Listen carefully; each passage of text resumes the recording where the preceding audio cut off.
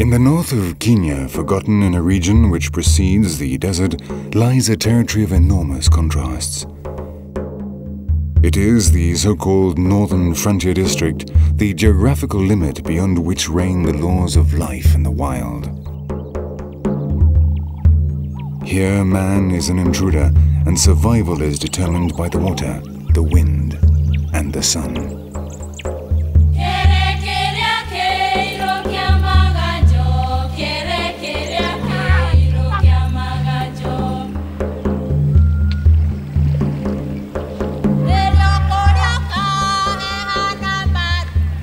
The heart of this unforgiving land stands the Shaba Reserve, a place of biological endemisms, a haven for wildlife at the edge of a blazing desert.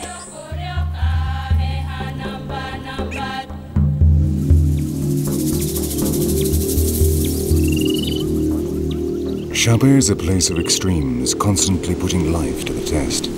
Severe droughts alternate with tremendous floods, turning the savannah into a hell which generates paradises.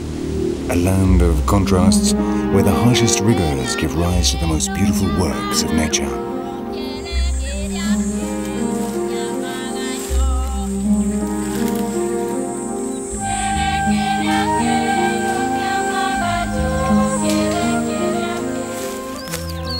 Land where life seems impossible, Shaba guards the treasure of its exclusive biodiversity in a paradox without precedent, as if the harshness of the environment were the reason for such richness, as if scarcity were, deep down, the creative force behind the development of life.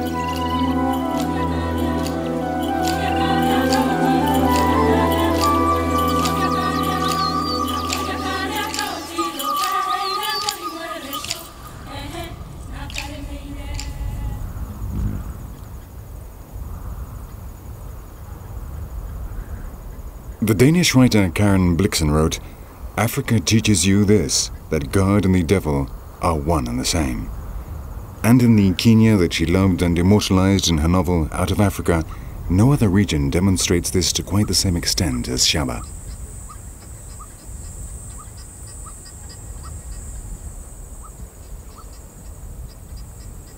Wind, sun, and dust. For three years, not a single drop of rain has fallen on the cracked lands of the northern frontier district. The plants that have managed to survive on the humidity and the condensation carried by the wind rise stunted and tortured from the parched land. It is the heart of the kingdom of thorns of East Africa.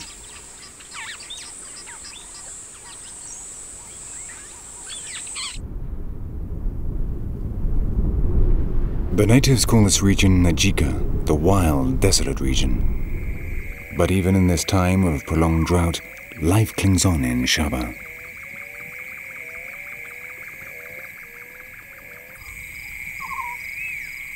In the cool of night, the herbivores appear in search of the drops of dew and the last shoots softened by the humidity. But thrice now the rainy season has failed to appear, and vegetation is virtually non existent.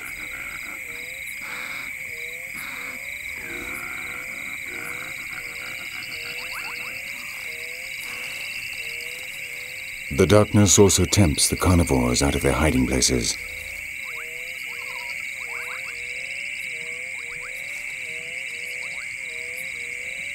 Every day the drought claims more victims from among the exhausted animals, and the inhabitants of the shadows seek out the flesh and blood of the dead bodies in order to survive.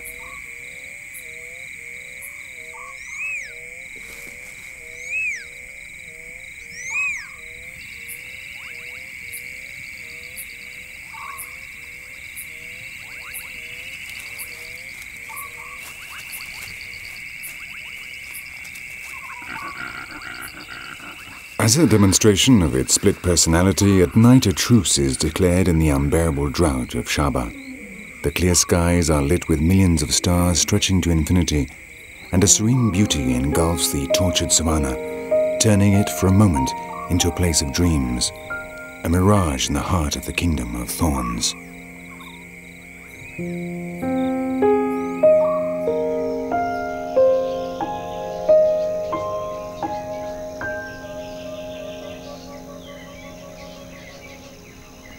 It Tis the rainy season, but the dawn once more brings cloudless skies. One more day without water.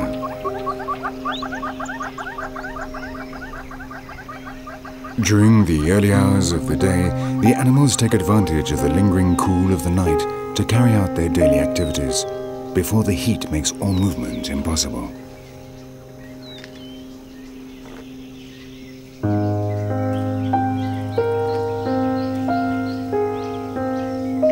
This group of elephants has found the last green patches along the slopes of a karst hill where the limestone rock has retained the water.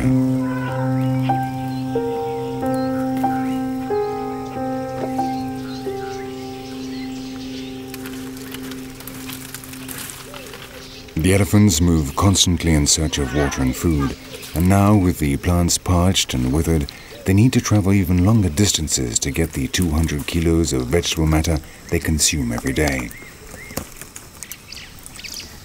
But despite their incredible needs and the precarious situation of Shaba, the enormous pachyderms survive here while many other herbivores have had to choose between emigration or death. The old matriarchs know the secrets of the land, and their wisdom and prodigious memory enable the group to survive.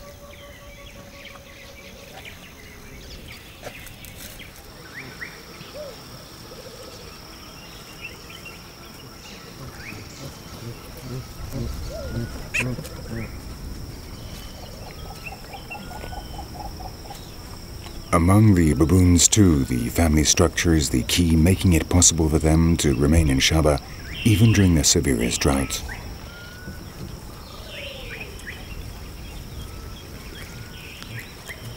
While many species leave, the baboons remain and even manage to raise their young.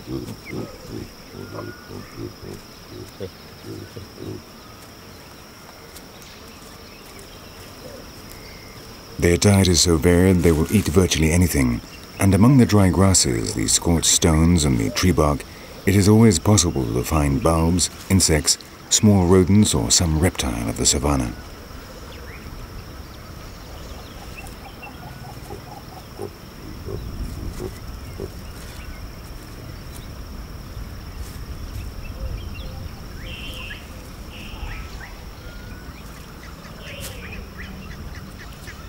Each member of the family contributes to the survival of the group, tasks being shared out for the common good.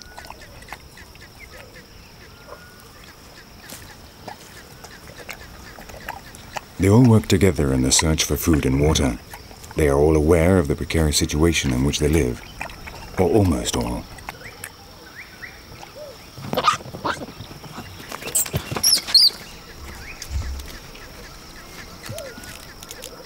For the youngest, life is a never-ending round of games and diversions.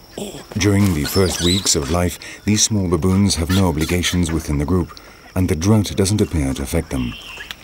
Mother is always close by, ready with her milk, and they have a group of inseparable friends to play with. So for them, the scorched savannah is a marvelous world full of adventures.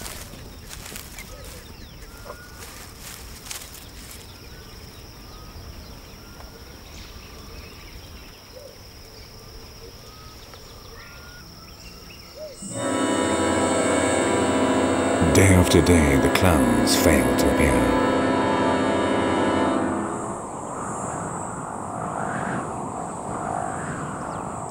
The desert seems to gradually eat into the savannah, and the dust piles up like desperate emissaries in search of rains that refuse to come.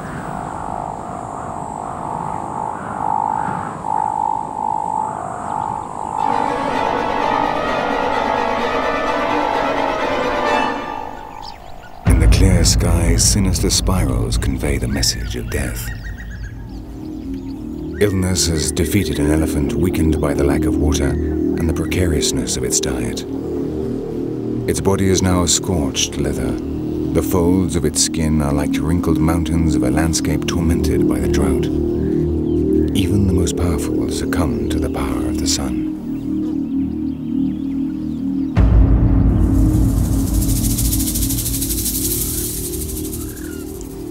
Hundreds of butterflies gather around the body, licking the skin and the ground impregnated with the salts and nutrients of the decomposing elephant. In Shaba, nothing goes to waste. Death generates life. The cycle is complete. And again, God and the devil appear by turns, becoming one.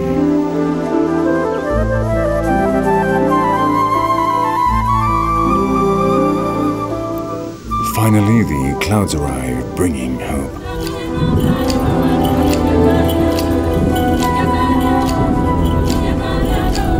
Huge cumuli form over the parched savanna, and three years late, finally release the long-awaited rain.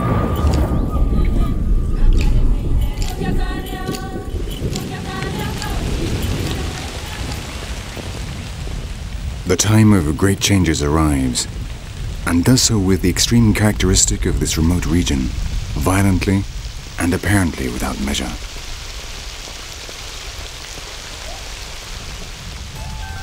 And the rains perform a miracle here at the edge of the desert.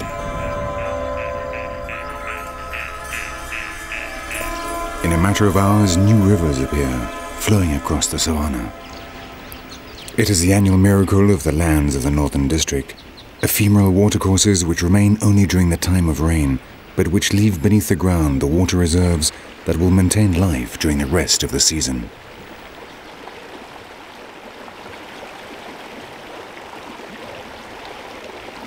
To the south, the clouds release enormous quantities of waters over the Aberdare Mountains and Mount Kenya, and shortly after arrive in Shaba in the form of violent floods. The only permanent river in the Shaba region again flows with force, carrying the sediments to which it owes its name. Ewaso Ngiro, the river of the brown waters.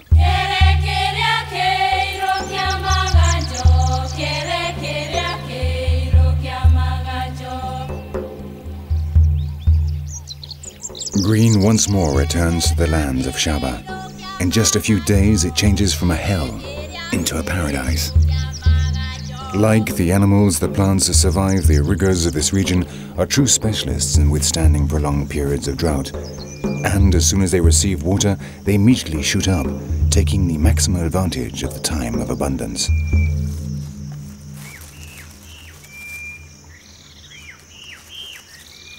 There is now water all around. Impalas and griffon monkeys lick the fresh leaves in order to obtain all the water they need. For a few days, they will be able to avoid the risk inherent in going to drink at the exposed clear banks of a river like the Ewaso Ngiro, in which, moreover, there are crocodiles.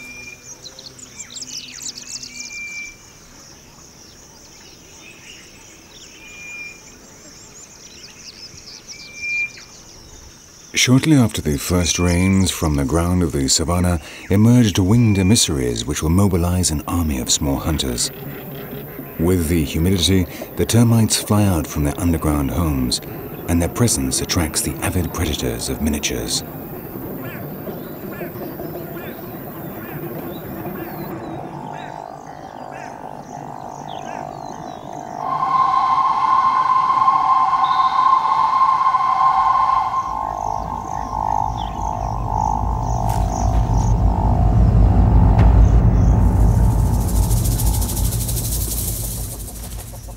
For many birds, they are an invaluable source of protein. Even those that generally feed on grains like the turtle doves take advantage of the easy pickings, competing with the true specialists like the calaos.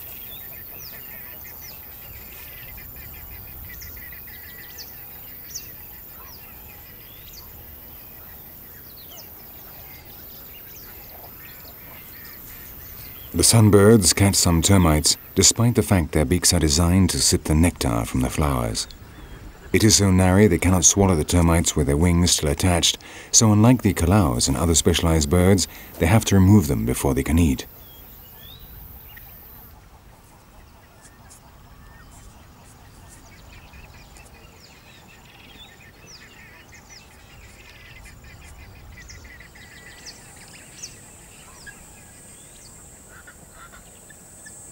Among the mammals of Shaba, the appearance of the termites does not go unnoticed.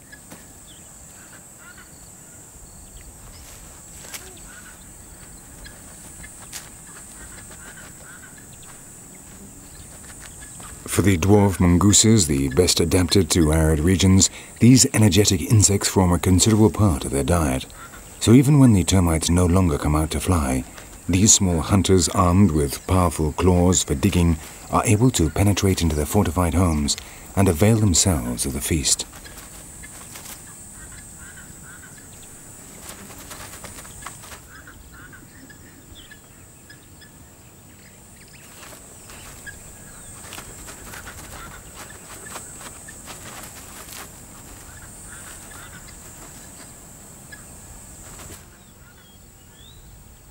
The rains completely changed the landscape of Shaba. Not only do the plants turn green and multiply, but the scorched plains, where previously the only movement had been the wind, now teem with fauna, a sight which just a few days before would have seemed impossible.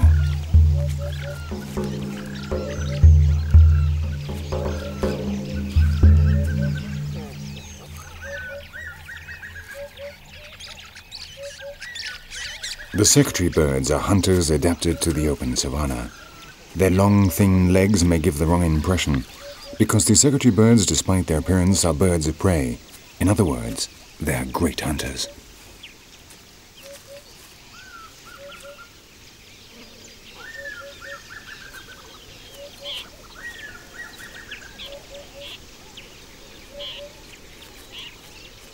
They will spend most of the day here strutting elegantly along as they hunt in pairs.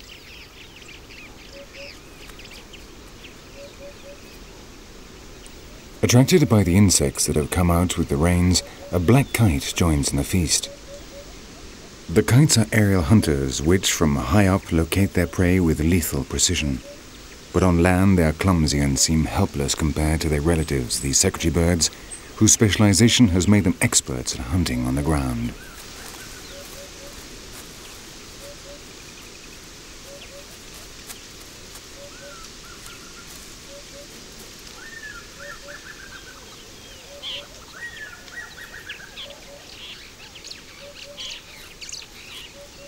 The diet of these secretary birds includes everything from small insects and birds to rodents and even some small felines. And this pair of timid, bat-eared foxes prefers not to take any risks and so make good their escape.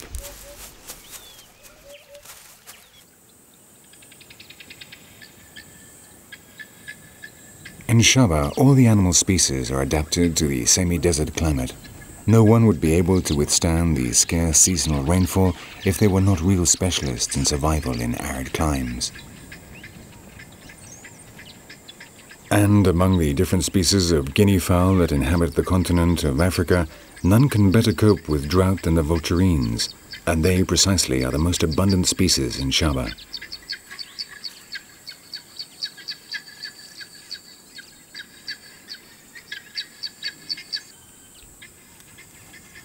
The digestive system of the vulturine guinea fowl is especially adapted to conserve the maximum amount of water obtained from their food, so that even in the driest times on the thorny savanna, the vulturines are able to survive on their diets of roots, bulbs, insects, and mollusks, drinking virtually no water.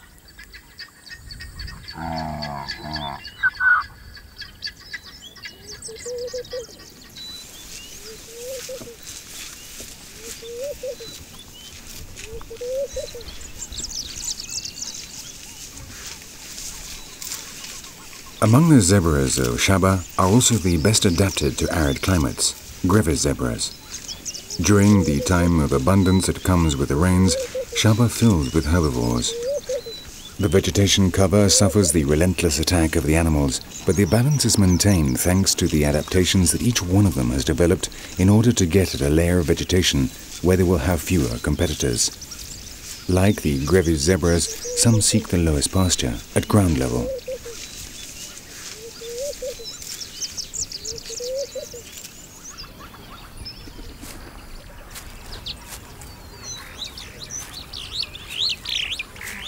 Others, however, have developed increasingly long necks to access the vegetation higher up.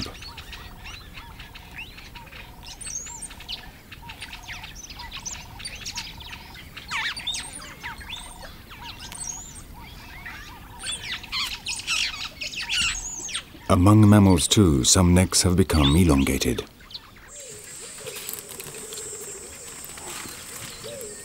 This is the next level up, a gerenuk, a Somali word which means giraffe neck.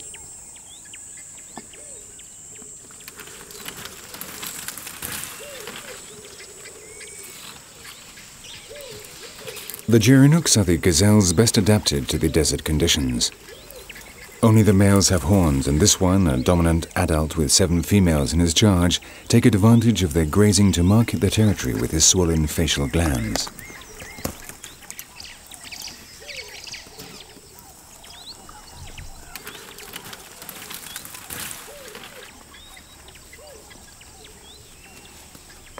The Gerenuks are the only gazelles that inhabit these sub-desert regions in the driest months.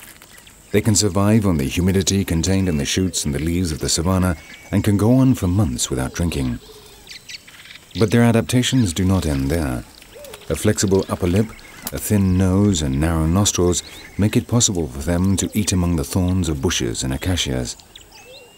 And to avoid competition with other herbivores as much as possible, they not only have their long, thin necks, but have also learned a trick to reach the highest layers of vegetation.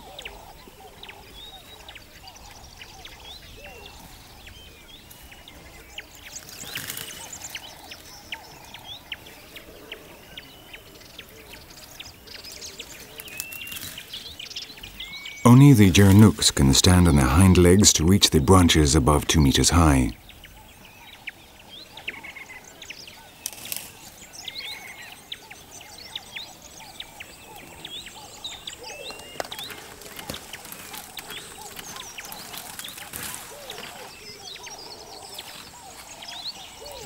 The higher you can reach, the more food you can get at. And the Gerenuks have made considerable progress in their stretch towards the top of the bushes and trees of Shaba. But on the savannah, even the height of the Gerenuks is insignificant compared to the highest mammal in the world.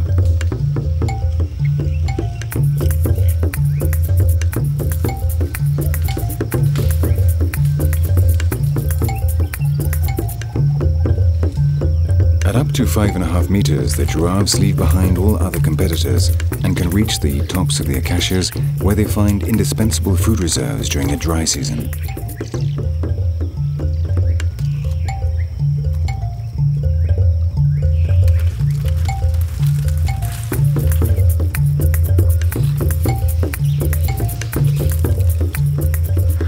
Of the eight subspecies of giraffe, the pattern of the reticulated giraffes makes them the most attractive ones.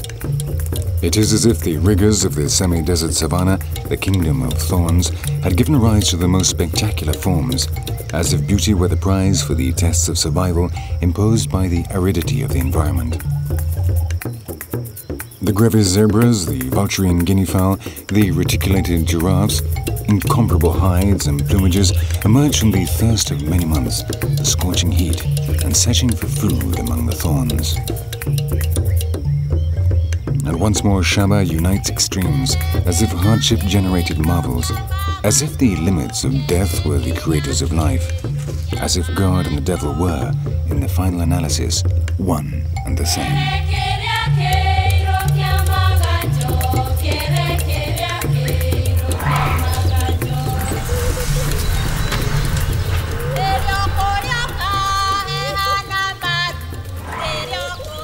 With the arrival of the rains, the elephants once more return. Their four meters in height, along with the length of their trunks and their ability to stand on their hind legs, means that not even the giraffes can reach so high in their search for food.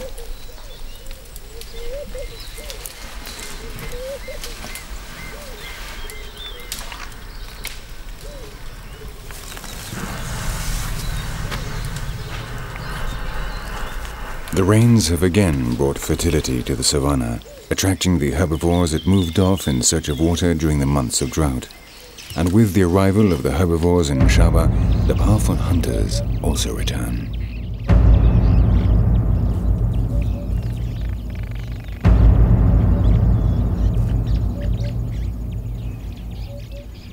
Though the new vegetation has refreshed the atmosphere, the central hours of the day are still unbearably hot.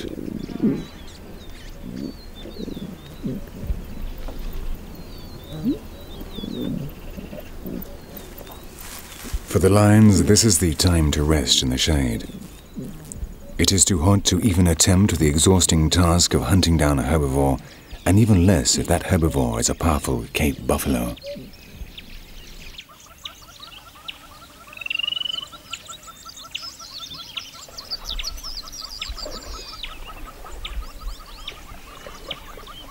Herbivores know that during the hours of midday they are unlikely to suffer an attack and are happy to simply keep the felines under surveillance upwind.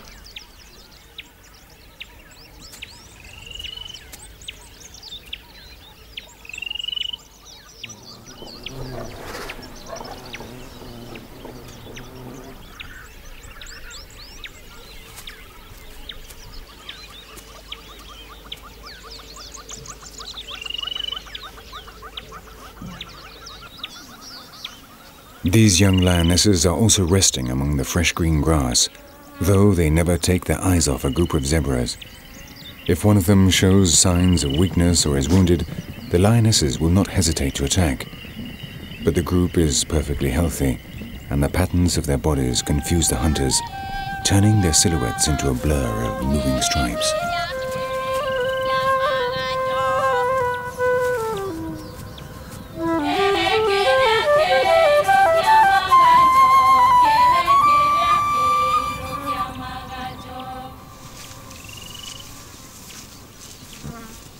During this time of abundance, the Grevy's zebras are joined by their Burchell's zebras with which they formed mixed herds. These zebras, more common in the rest of Africa, have thicker and more widely separated stripes than the Grevy's zebras, and during the dry season, when only those best adapted to drought can survive in Shaba, they leave these lands and head for the Aberdare Mountains, where there is green pasture all year round.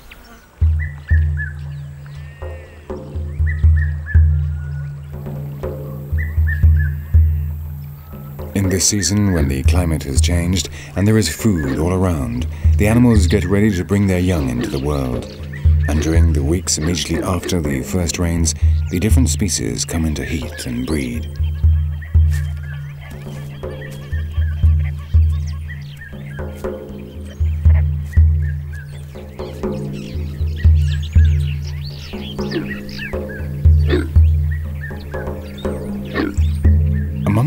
Kori bustards, the males mark out their territories and begin a strange courtship ritual which consists of inflating air sacs on their necks while emitting a booming guttural sound.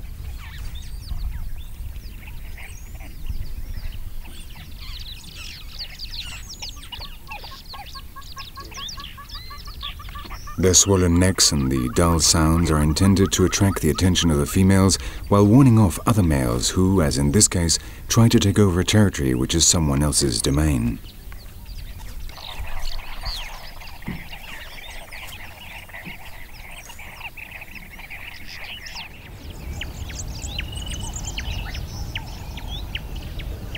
Among the antelopes, only the dominant males can breed with the females, and to occupy that position, you have to beat the others in face-to-face combats. So hopeful males gather together in groups and permanently practice.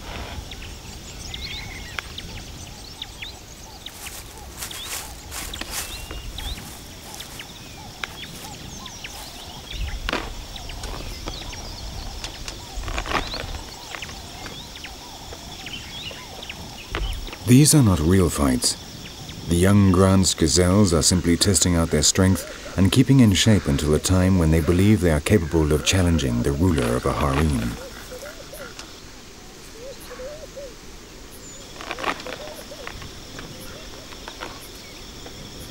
And the process is the same with the impala males.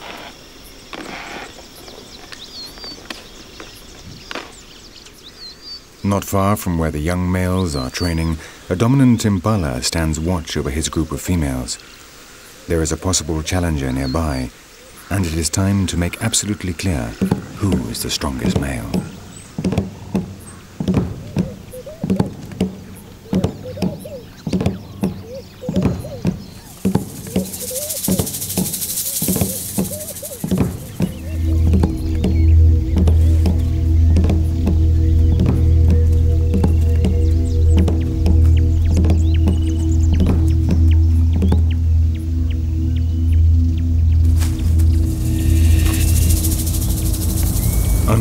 Watchful eye of the females, the males clash.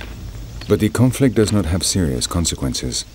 After the initial confrontation, the challenger realizes his time has not yet come, and before the combat turns serious, he retires uninjured.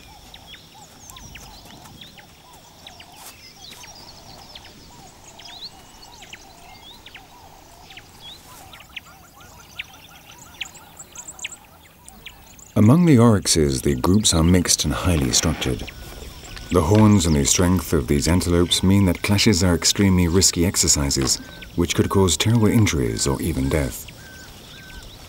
But in the groups of oryxes, where there is a clear hierarchy of males and females, the dominant position is decided by ritualized combats in which they test their strength, but avoid serious aggression.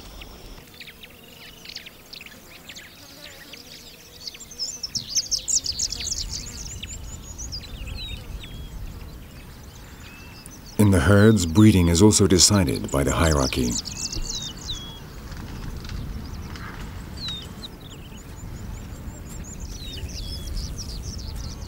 Each one knows what it can aspire to depending on its status within the group. So in the same herd, different couples can mate without this creating any conflict among them.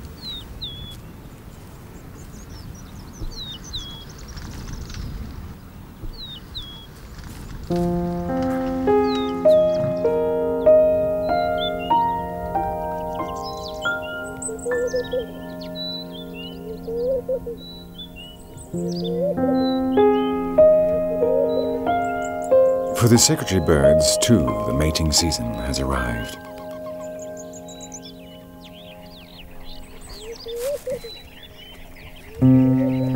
The same couple that was looking for insects shortly after the first rains is now preparing its nest.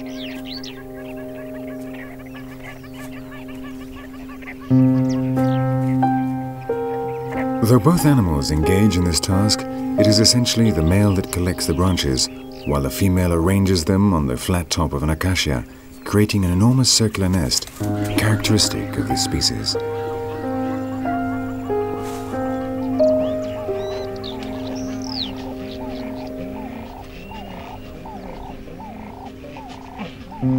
During this time, the secretary birds are attentive and affectionate with their mates, courting them on the ground, in flight and in the nest and shortly afterwards, in a way ornithologists have still not been able to describe, they mate. They lay no more than three extremely valuable eggs.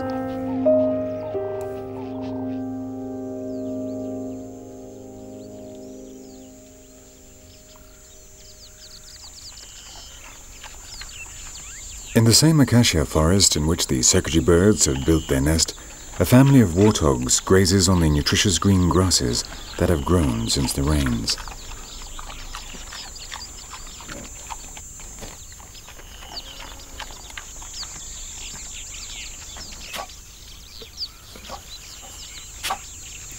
The little warthogs are only a few days old, but already they are expert savanna dwellers. They still lack the experience to be able to find food like their elders, but they have the mobile food store of their mothers, and though she doesn't want to stop to feed them, the young warthogs are determined to get at the nutritious milk.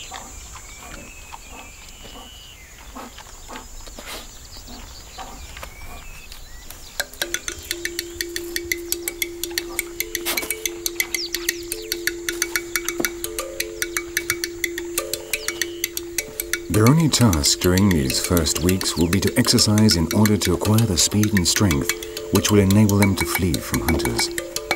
And they dedicate themselves to this in body and soul.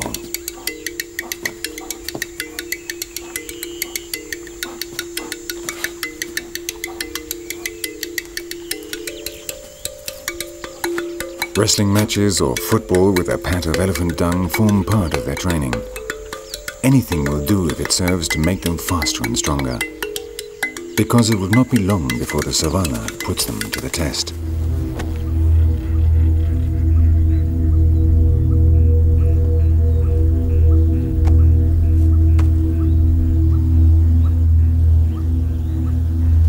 In the shade of an acacia, a cheetah watches over a nearby group of oryxes.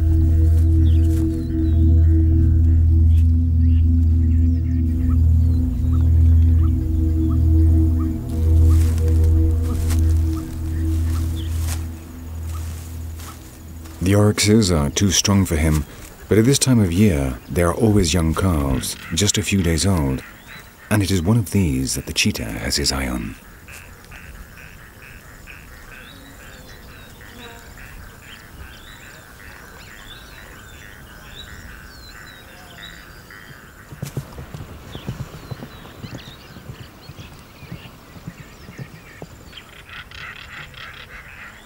Calf appears to be perfectly healthy, and the possibilities of catching it are virtually nil. But the cheetah has been building up tension and decides to launch a desperate attempt.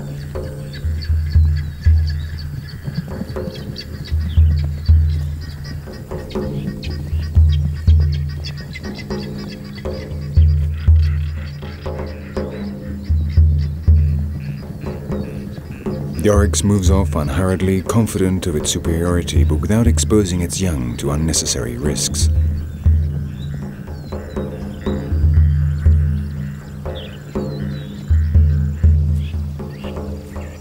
The cheetah has not even had the chance to test out its prodigious speed. There are many adults in the group, and it knows that when it comes to defending its young, an oryx is capable of killing even a lion, so he abandons the attempt and returns to his slow wanderings in search of more accessible prey.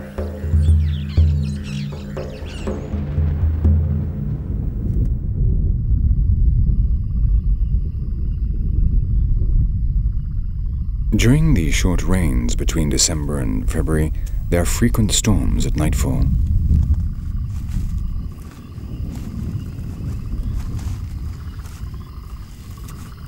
The climate mellows and the heat of the day gives way to fresh, humid air, the temperature the large hunters have been waiting for to go into action.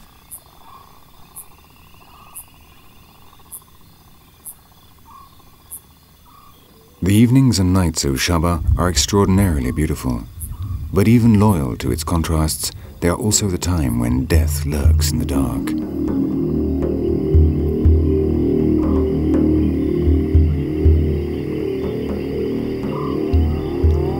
Falls over the Ewaso Ngiro.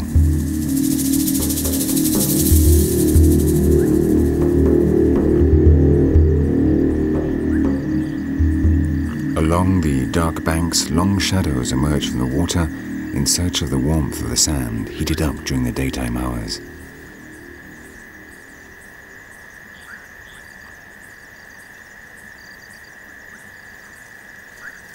The metabolism of the Nile crocodiles depends on their body temperature, and this in turn depends on their surroundings.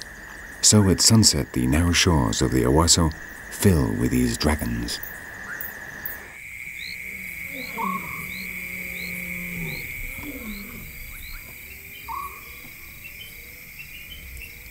For the lionesses, the night is an advantage.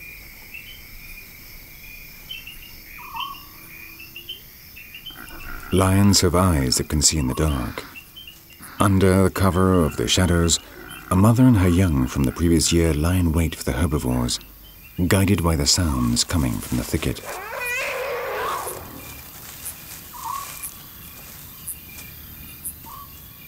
Tonight they are not in luck. From the forest alongside the river, three elephants emerge, and no hunter in Shaba would dare disturb them. So the lionesses lower their guard and rest, waiting for other signs that reveal the presence of possible prey.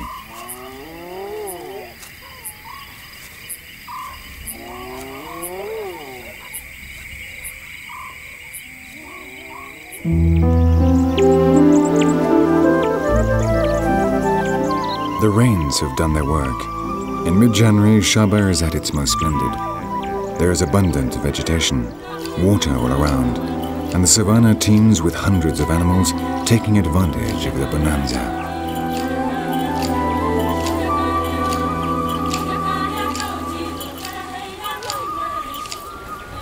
The elephants have returned to the region and remain here longer.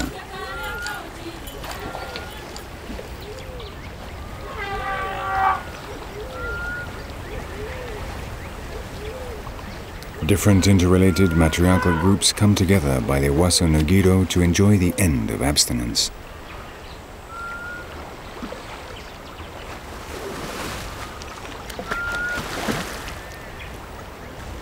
Elephants need between 80 and 160 liters of water a day, and the adult males can drink twice this amount, so they must always have water sources available. The banks of the Ewaso Ngiro, whose waters are now high and stable, every day attract large herds of pachyderms. The adults can drink and bathe, and the young can wallow in the mud, protected by a forest of colossal legs.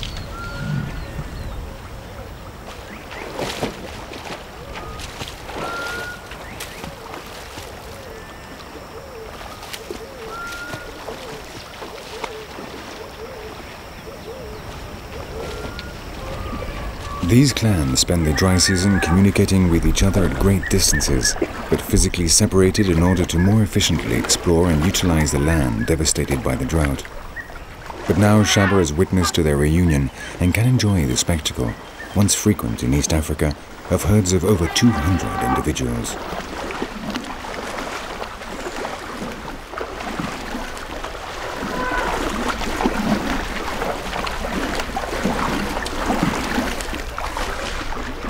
Today, the region that comprises the reserves of Shaba, Samburu, and Buffalo Springs is home to the largest herds of elephants in East Africa. And again, there is a paradox this miracle of abundance in the kingdom of drought.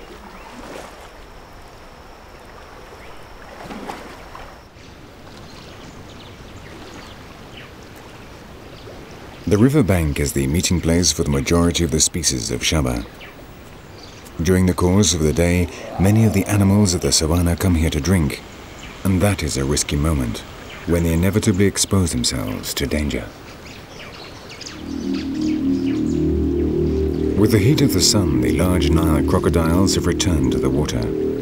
On one of the banks, a group of Grevy's zebras are slaking their thirst, and the appearance of a young colt attracts the great saurians.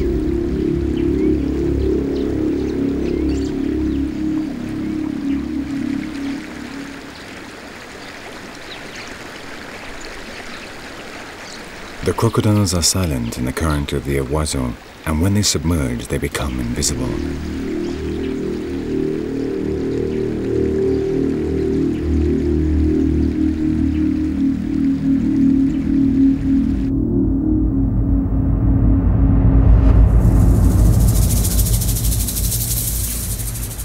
But the zebras are on permanent alert, and the shallowness of the river is a factor in their favor.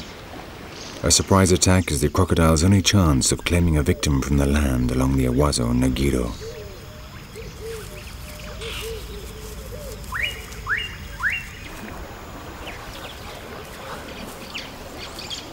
The baboons, too, who have remained in this region all year, thrive in the shade of the forest along the riverbanks.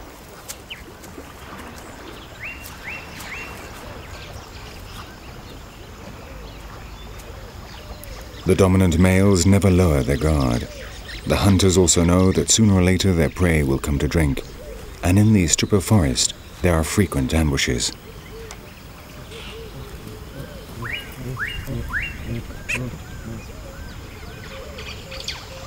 The risk is worth it.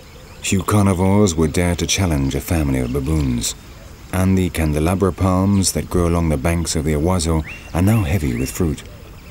So while the large males stand watch, the young climb up into the treetops and throw down the ripe fruit to the rest of the group. Another of the advantages of family life.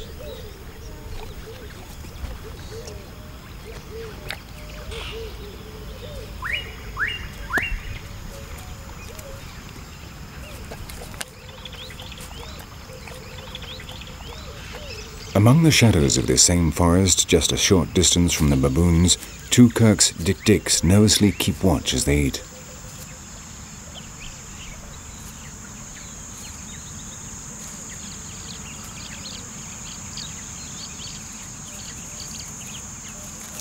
Standing just two hands high and weighing around five kilos, they're the smallest antelopes in Shaba, and even the large baboons could easily kill them so they nervously graze, never wandering far from the protective undergrowth.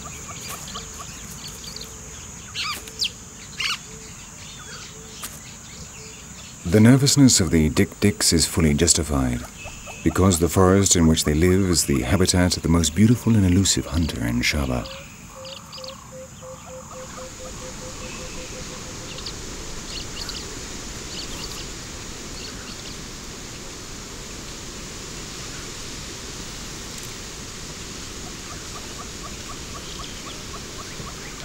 The leopards spend most of the day hiding in the boughs of the acacia, where their mottled skin makes them invisible.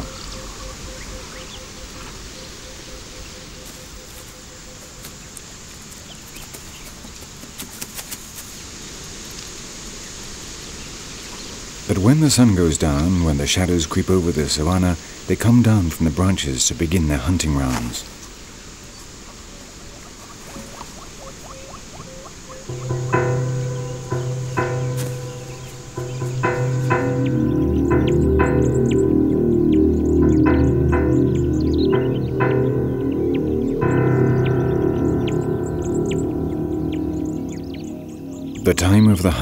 Has arrived.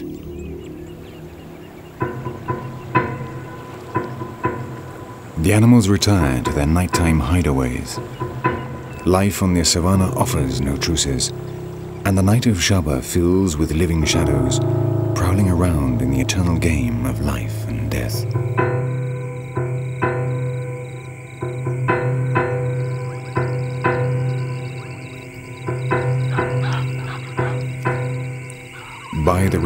Beneath the fallen trunk of an acacia, the leopard scans the night in search of prey.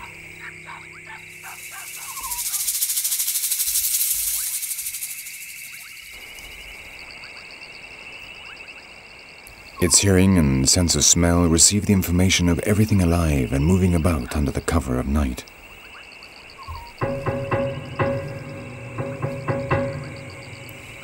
Another leopard emerges from the shadows and the couple continues its silent round.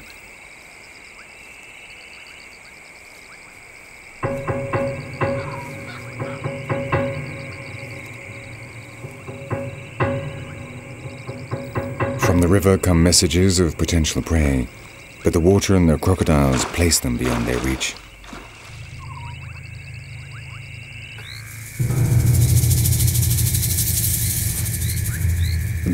Male detects a furtive movement in a tree alongside the Ewaso Ngiro, and the hunt begins.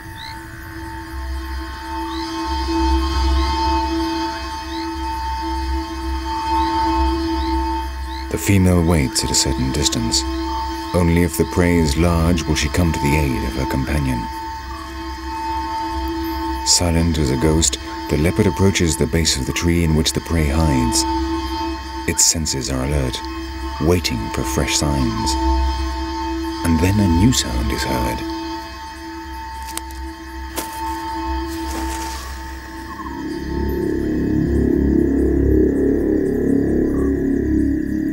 The leopard knows there is something alive in the tree, and that there is no escape for it. Beneath the branches runs a river full of dangers, and to reach the ground the prey has to reveal itself. It is now just a question of time. And beneath the attentive gaze of his companion, the hunter gets ready to attack.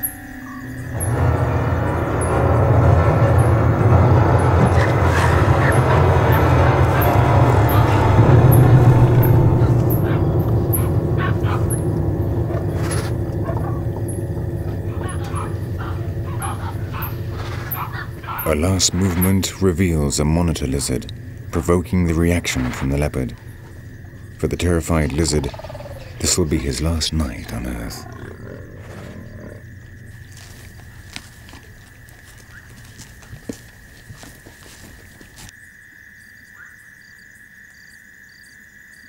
Beneath the tree, the female waits disappointed.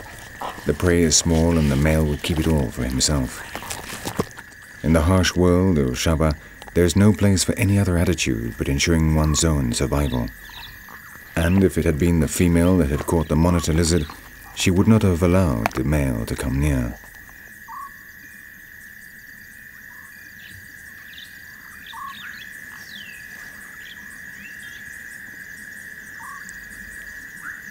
Having devoured his catch, the male comes down from the tree to join his mate.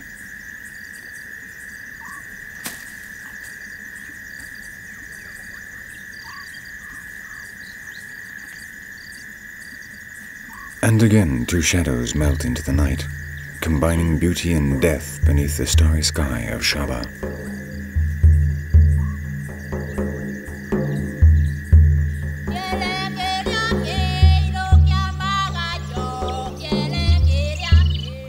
Shaba is a fascinating land beyond the influence of man, a world in which life is a series of stark contrasts, where hardship gives rise to beauty and survival imposes constant tests.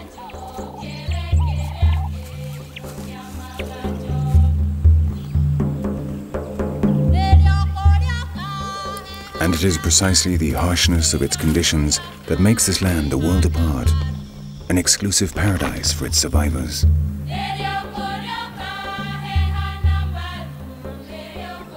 With the return of the dry season, Shaba goes back to the beginning. Little by little, drought sets in. And again, God and the devil alternate until they become one and the same, with no beginning or end, in the perpetual cycle.